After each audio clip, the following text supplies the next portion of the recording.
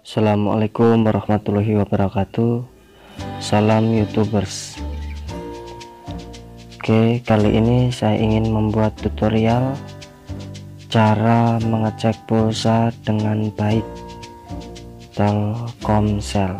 Bintang 888 pagar. Di SIM 2 saya sisipkan Telkomsel cardnya di SIM 2 pilih cek pulsa dan kuota. Nomor 3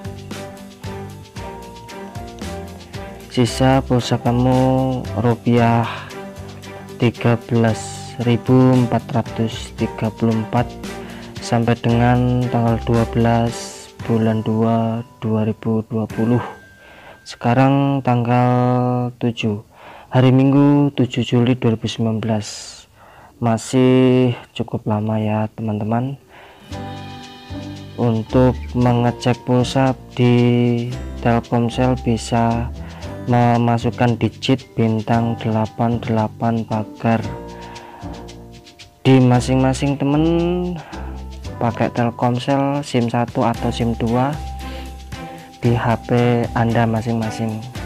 Semoga bermanfaat. Jangan lupa bertambah teman dengan subscribe secara gratis. Terima kasih